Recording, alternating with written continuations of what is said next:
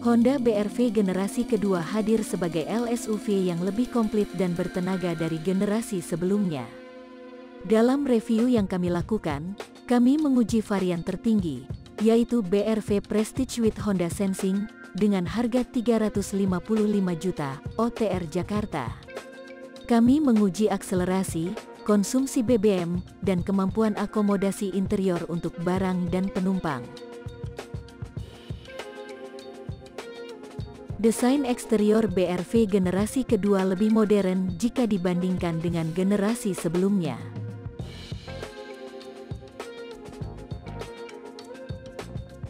Pada varian tertinggi, lampu depan LED dan grill menyerupai Honda Odyssey. Sementara desain lampu belakang mirip Honda City Hatchback. Aksesori seperti skid plate dan roof rail masih tetap ada velg BRV Prestige mengalami peningkatan ukuran dari 16 inci menjadi 17 inci. Clearance mobil juga mengalami peningkatan dari 201 mm menjadi 220 mm.